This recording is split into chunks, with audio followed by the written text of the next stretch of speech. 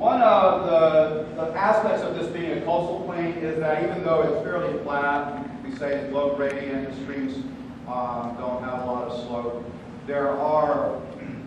uh, topographic features that were created by uh, old, old levels of the ocean, uh, what we call marine terraces, which are old beaches for the most part. So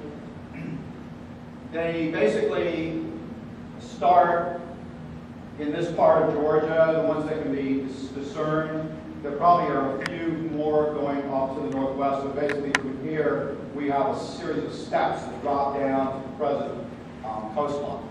And, and the Withlacoochee River and most of these uh, rivers that are part of this uh, network, the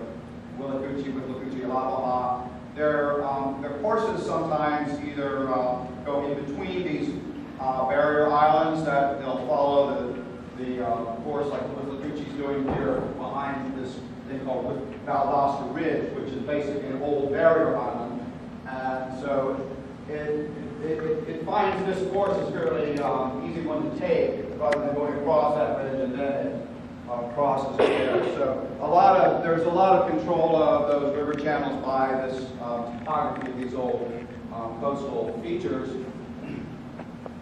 which is sediment, that sand that's sitting on top of the uh, clay that was talking about the hawthorn group and the, uh, the surface material. So